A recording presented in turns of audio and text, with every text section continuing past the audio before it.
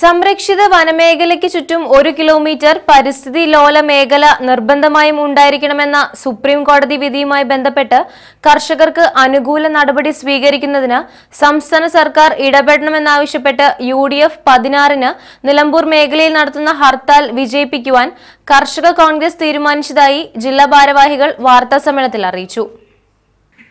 കോടതി വിധി മലയോര മേഖലയിലെ ജനജീവിതം ദുസ്സഹമാക്കും.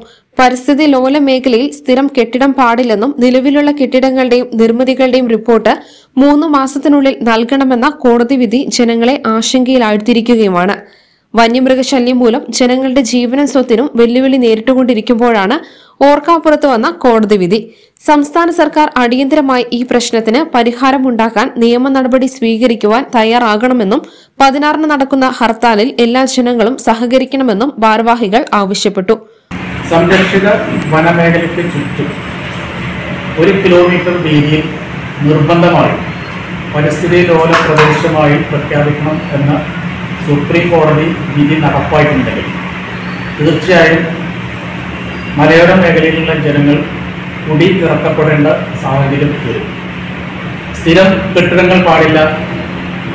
അതുപോലെ തന്നെ നിലവിലുള്ള കെട്ടിടങ്ങളുടെ സ്ഥിതി സ്ഥിതിയും പുതിയ നിർമ്മിതിയും അതുമായി ബന്ധപ്പെട്ട റിപ്പോർട്ടുകൾ മൂന്ന് മാസത്തിനുള്ളിൽ സുപ്രീം കോടതിയിൽ കൊടുക്കണം എന്നാണ് കോടതി തന്നെ നൽകിയ ഉത്തരവ്.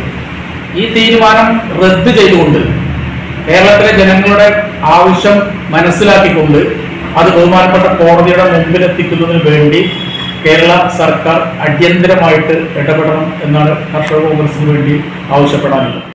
വാർത്താ സമ്മേളനത്തിൽ ജില്ലാ പ്രസിഡന്റ് എ പി രാജൻ ജില്ലാ general secretary C P Kunjumuhammad ജില്ലാ കമ്മിറ്റി അംഗങ്ങളായ T K Abdullah A Abdul Gafoor Wandoor മണ്ഡലം പ്രസിഡന്റ് വി ശിവശങ്കരൻ എന്നിവർ പങ്കെടുത്തു. News bureau Nilambur.